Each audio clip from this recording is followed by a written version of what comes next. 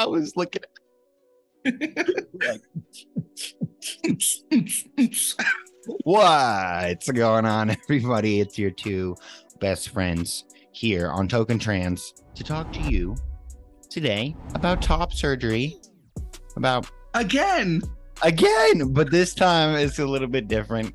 It's uh it's my top surgery, so it's gonna be a little bit different around here. Um Yeah.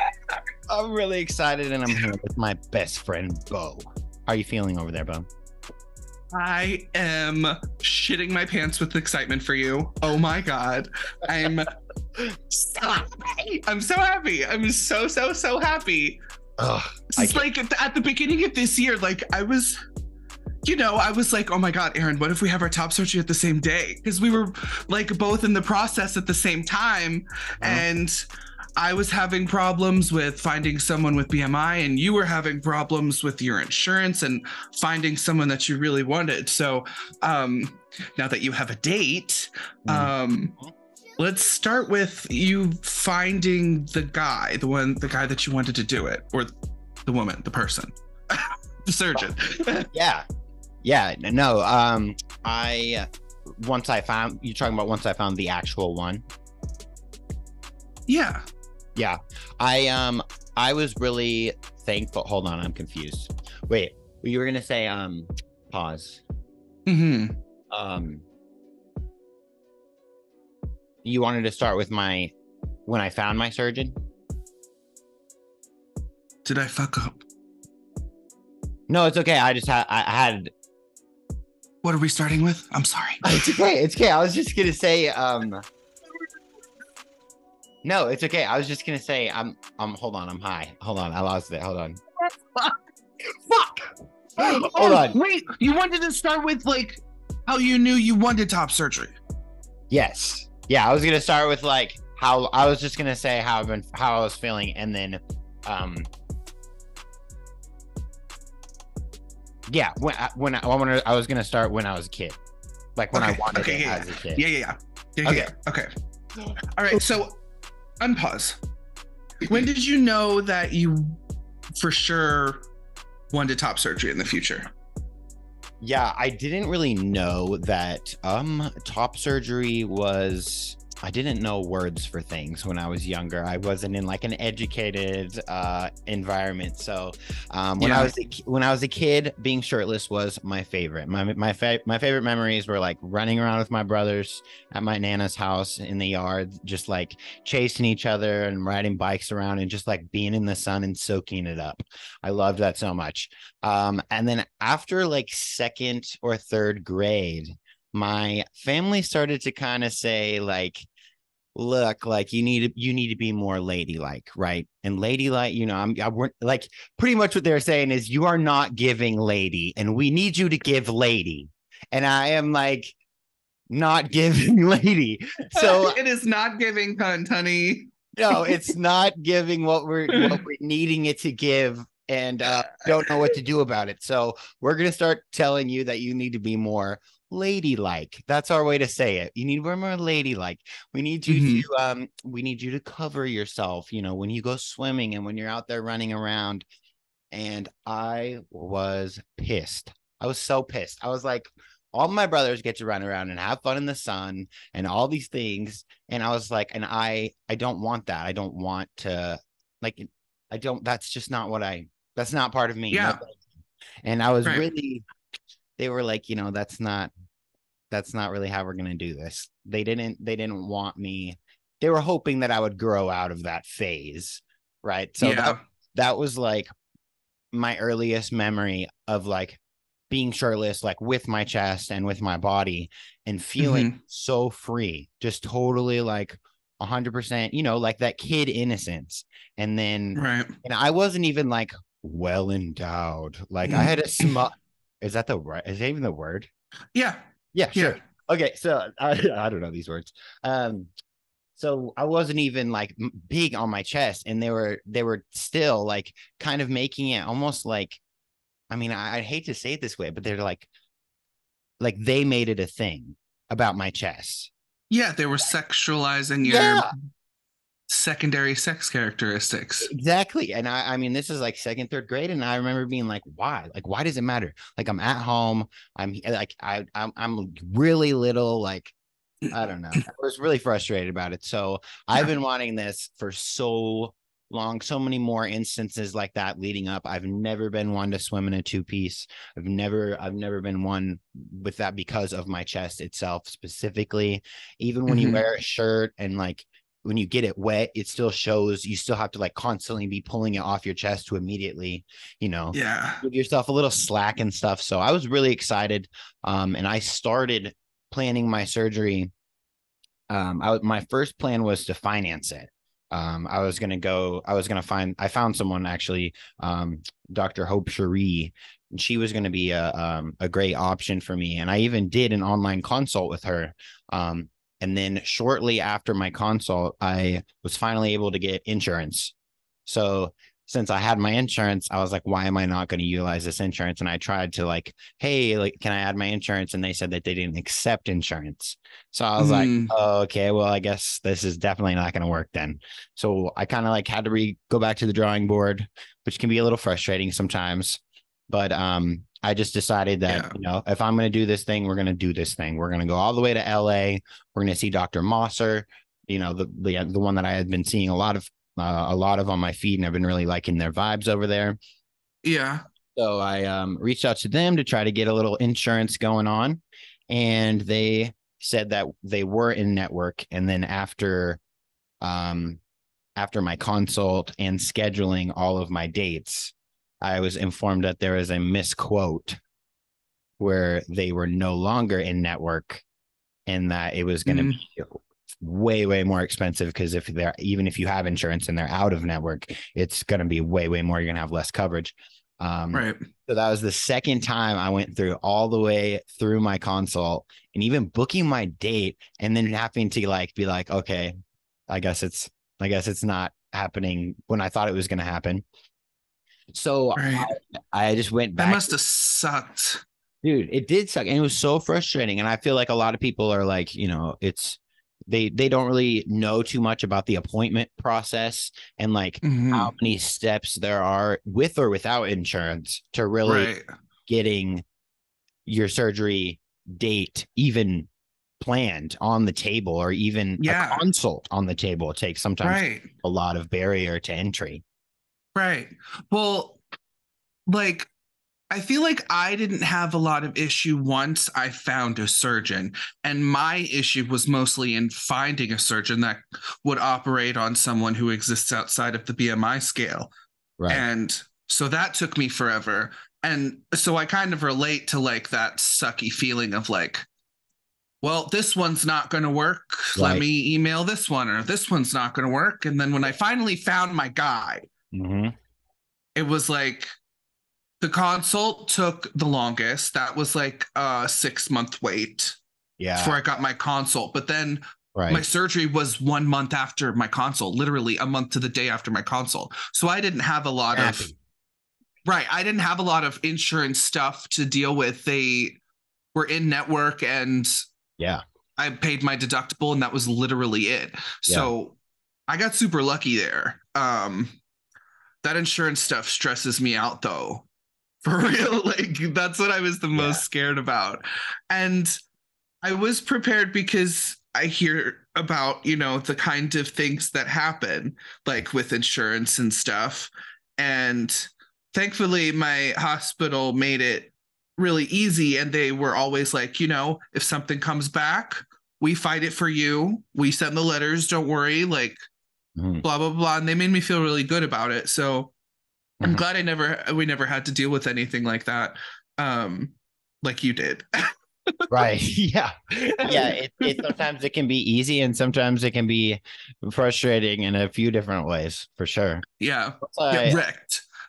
Yeah, I a hundred thousand percent agree. Once you find your actual surgeon, it starts to get a little bit more smooth because yeah now you finally have the right person and you've looked through so many before and after photos online and some people don't have them and some people there's like no reviews on the internet about people but they end up to be they end up being great surgeon options.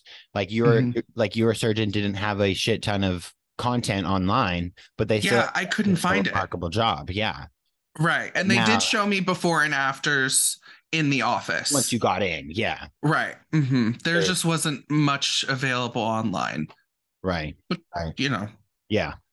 Yeah. I was super happy to find the person that I that I was going to be four hours away because when you told me that you were going to be like recovering in your own bed, I was like, okay, maybe even if I have to drive six to eight hours, I want my own bed. Like Right. I would much rather be. I mean, even if I, even if I can't sleep in my own bed, I want my own couch. I want my own, you know, my own house, my own space. So Right. definitely uh i was super excited to find them being four hours away um but this Mhm. time my console was going to be in person so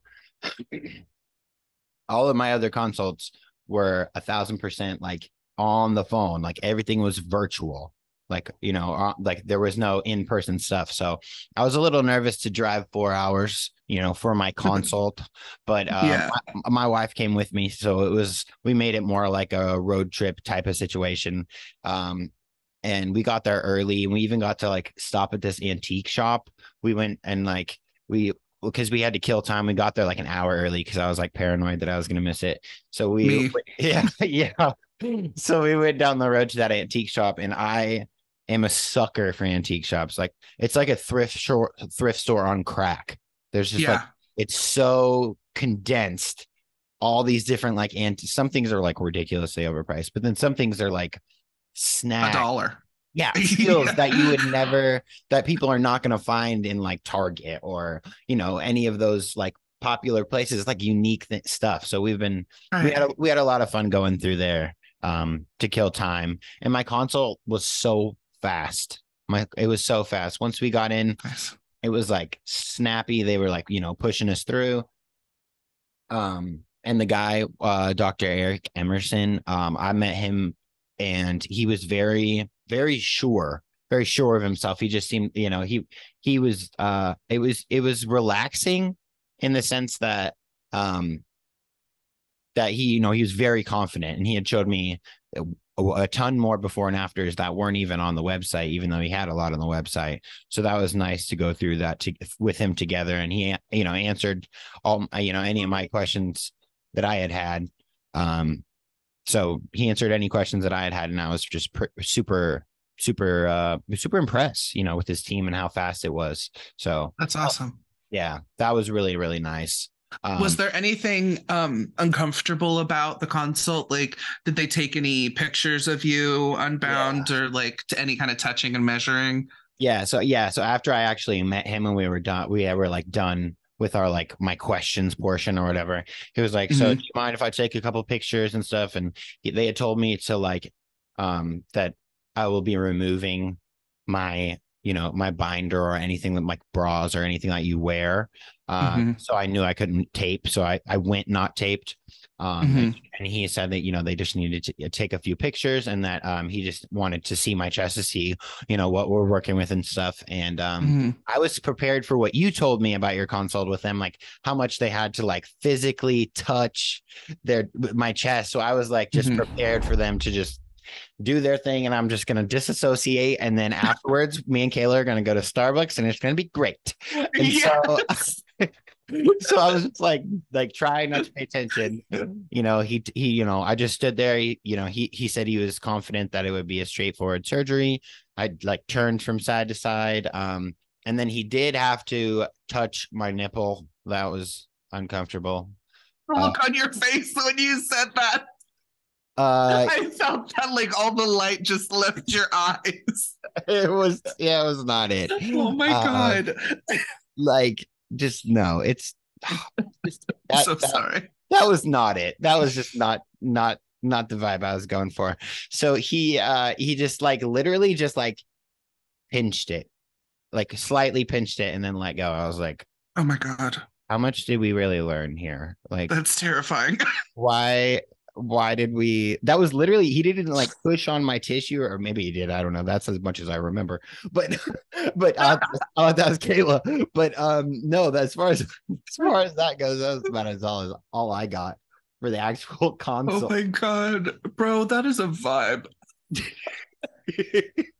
that is just fine. You know, you are within your right to forget everything about that console. Holy shit. Could you imagine? Like, it's just so fucking wild that, you know, I've spent I've spent the past fucking what, like 10 years Mhm. not having access to my nipples, you know, mostly being trans taped up, you know, right. um, and right. not having my nobody touching it but me.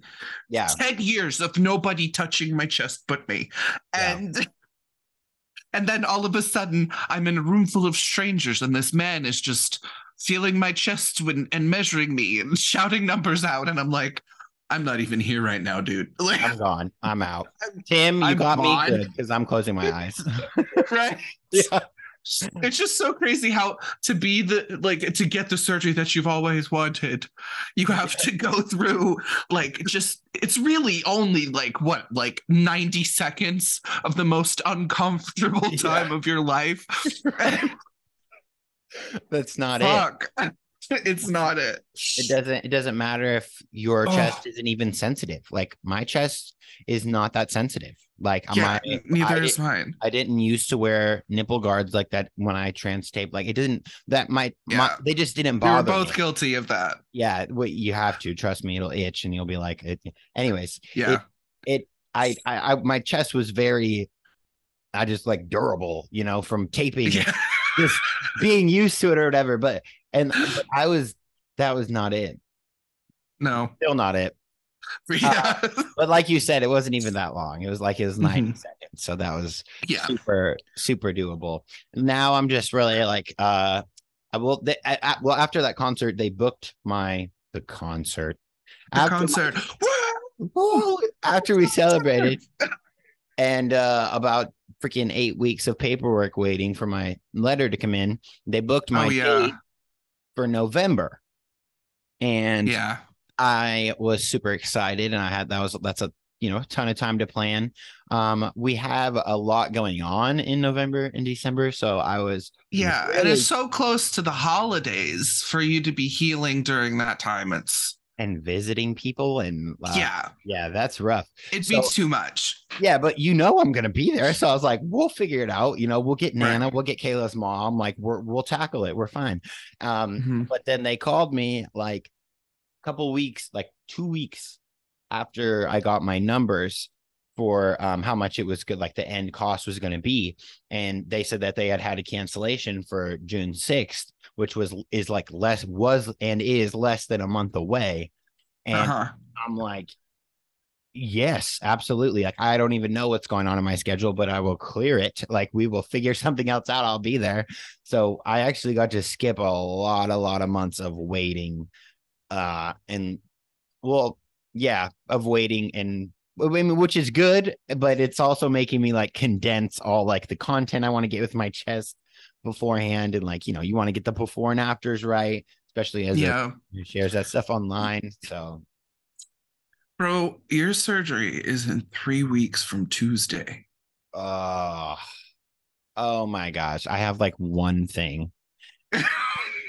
and and I actually just found out yesterday that my nana's likely not coming. So it'll probably just be me and my wife, which is going to be super fun. I mean, totally doable. I'm we're excited. Oh excited. yeah, So we're it'll super, be doable for sure. it's so soon. Oh my gosh, I can't even. I cannot. I'm so I'm so pumped. I just can't even. Oh, I'm so happy. Oh my god, this is the best because it's like it's kind of happening kind of like how mine happened like Yeah. it was like all of a sudden I had my consult and all of a sudden surgery's a month away Right. and that's like And literally what happened with you yeah After all these years. yeah and now I get to I get to be on the other side because I know I was like, oh my god, dude, I can't, I can't even focus right now, dude. Can you like, Dude, can I'm you call me so I can get this work done? Can you just sit there?